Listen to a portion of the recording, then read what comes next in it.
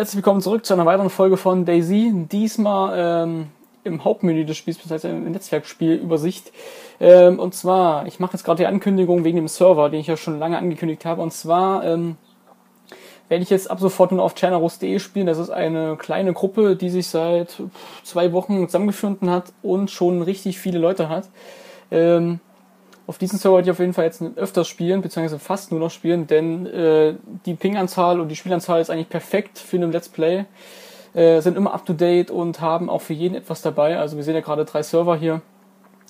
Den 191er, das ist ein deutscher Server mit äh, minus drei Stunden, wenn ich mich nicht irre. Das heißt, die Stunden werden um drei Stunden äh, reduziert. Dann werden die Spielers, äh, Spielernamen angezeigt, wenn man mit der Waffe auf die Spieler zieht, dann seht ihr dann XY oder so. Ähm, dann gibt es den Server 190, das ist ein äh, minus 6 Stunden Server, das heißt äh, 6 Stunden werden abgezogen ähm, und die Spielernamen werden nicht angezeigt, das heißt es ist schon ein bisschen ja, härter. Jetzt sieht man ja auch 191 regularer Schwierigkeitsgrad und veteranisch ein bisschen härter. Und dann haben wir noch einen US-Server, das ist vielleicht für die Leute gut gedacht, die mal gerne äh, wenn man nachts spielen wollen oder nachts spielen können, also gegen Abend. Das sind die deutschen Server meistens schon im Dunkeln und äh, die 163er US-Server von Generos, äh, der ist halt dafür da, dass halt die Leute auch im Dunkeln im, im Tagmodus spielen können, dass man nicht ständig die Zeiten ändern muss. Ne? Also für jeden ist etwas dabei und deswegen starten wir einfach mal mit den, hm, ich nehme den mal, nehmen wir mal den 190er. Was ich noch zeigen möchte vielleicht, ist der Filter. So sieht das bei mir aus ungefähr. Gibt einfach bei hostgeneros.de ein. Ich werde die Seite auch nochmal im Forum, äh, Forum sei ich schon, in, in der Beschreibung verlinken. Dann kommt ihr auf ein Forum, da könnt ihr euch registrieren und dann könnt ihr mit mir dann irgendwann mal spielen, wenn ihr wollt. Können wir uns auf jeden Fall besser unterhalten als über YouTube. Das geht alles. Einfach mal gucken. Werde ich alles verlinken in der Videobeschreibung. So, starten wir einfach mal durch mit dem Veteran. Jetzt auch mit 1.7.2, wie man schon gesehen hat. Es sollen ja viele, viele Neuerungen kommen. Und ähm, ja, bin ich sehr gespannt, was äh, am Ende dann doch äh, rausgekommen ist. Das, äh, Debug der Debug-Monitor sieht wieder ein bisschen anders aus. Und ähm, ja, einfach mal gucken. Das Headset ist immer noch nicht da, das habe ich ja ist schon im letzten Video, glaube ich, erwähnt, in dem Tutorial mit dem Fahrzeug. Äh, ich mache das Ganze gerade über, ja, auch wenn es komisch klingt, übers iPhone. Ähm, das heißt, ich habe ein Headset dran gemacht, nehme das Ganze über Sprachmemos auf, übertrage das dann via iTunes auf den PC, wandle das in MP3 um und füge es dann in den Sony Vegas äh, Editor ein ganz schön kompliziert, aber äh, ich habe keinen Bock jetzt noch länger zu warten. Also eine Woche schon vergangen und äh, das ist mir einfach zu lange, die ich jetzt hier, äh, zu lange Wartezeit, die ich jetzt hier verbringen muss. Und äh, nur Miniseries, wo ich jetzt hier äh, nichts kommentiere, einfach nur die arme äh, Atmosphäre zeige, ist auch ein bisschen doof. Deswegen starten wir einfach mal durch. Ähm, wenn das Spiel mal laden würde.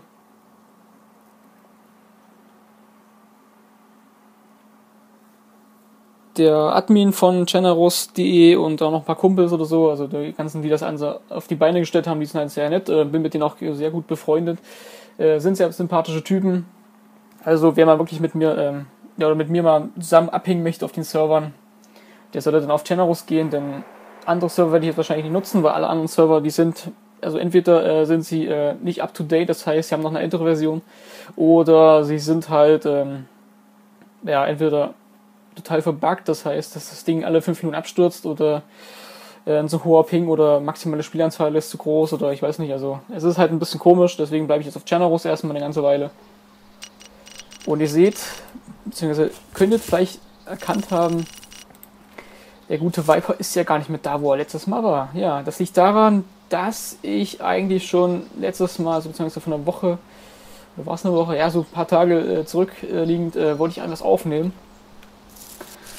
aber das hat nicht so ganz funktioniert. Also ich habe zwar 15 Minuten aufgenommen, ich bin dann quer durch äh, den Wald hier gerannt, habe dann nach Tieren gesucht und so. Ähm, das hat auch funktioniert. Also ein Tier habe ich gefunden, aber was ich nicht gefunden habe ist, ähm, beziehungsweise was am Ende nicht funktioniert hat, ist, dass ja die Sprache nicht aufgenommen wurde, obwohl ich es eigentlich äh, mit aufgenommen habe. Also das heißt, die war ein bisschen verbuggt und auch beim Umwandeln, beim Rendern äh, war die Sprache nicht da, da war überhaupt kein Ton mehr da. Der ganze Ton war irgendwie nicht mehr da.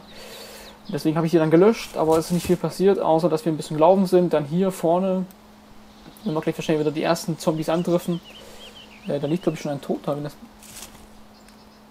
Wenn ich mich recht entsinne. Was ist das? Ein Baumsturm? Ach, egal. Jedenfalls ähm, habe ich dann hier so vorne zwei Polizisten-Zombies getroffen und einen Soldaten. das weist ja mal darauf hin, dass hier ein Hochsitz ist. Da habe ich auch gedacht, gut, läufst du Richtung äh, Süden. Oder ist das Süden? Ich weiß gar nicht mehr, wo ich bin. Also Himmelsrichtung ist gerade ziemlich schlecht. Was sagt die Uhr? Ah, okay. Im frühen Morgengrauen. Und deswegen habe ich auch gedacht, ähm, gehe ich einfach mal äh, ein bisschen nördlich oder nicht südlich, keine Ahnung, was das war. Ich glaube, südlich müsste es gewesen sein. Äh, damit ich dann diesen, dann diesen Hochsitzer wieder finde. Deswegen dachte ich mir, das wäre eine gute Position zum Auslocken.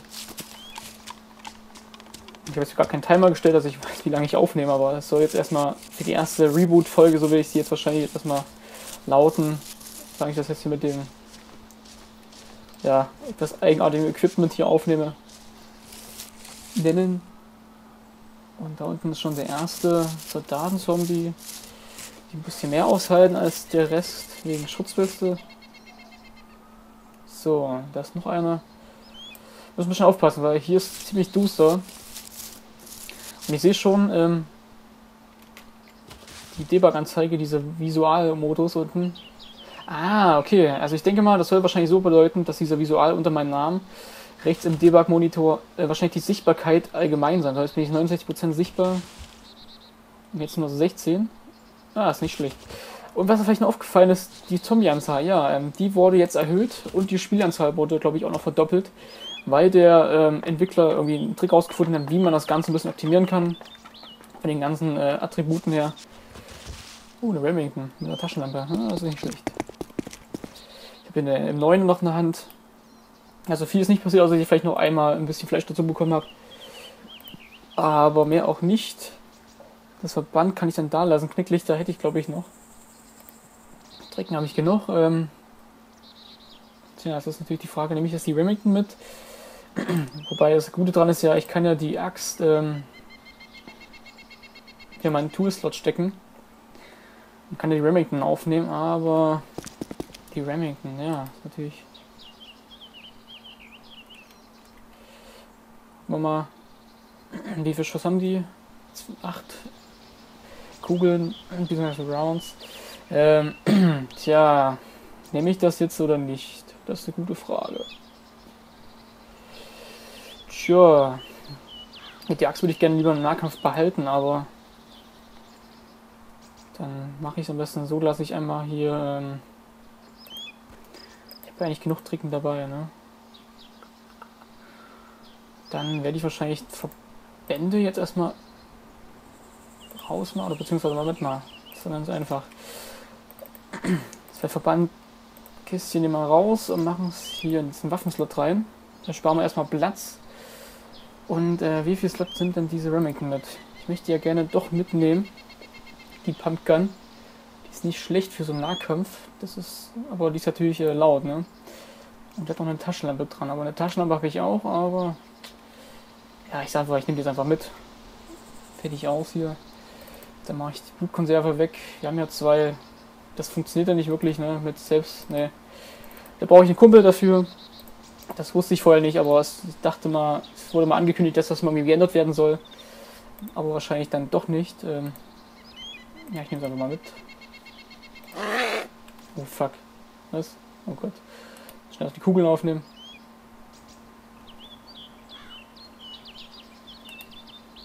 Wo ist er denn?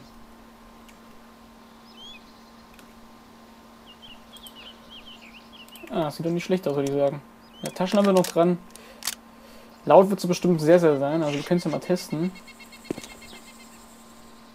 Wo ist der hin gewesen, der kleine Wicht?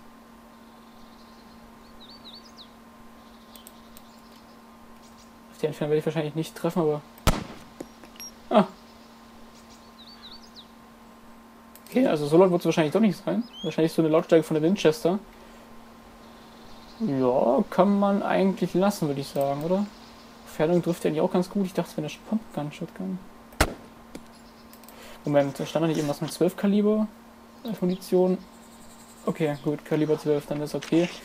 Dann weiß ich, warum die auf Entfernung trifft. Dann ähm, hat sich das erledigt.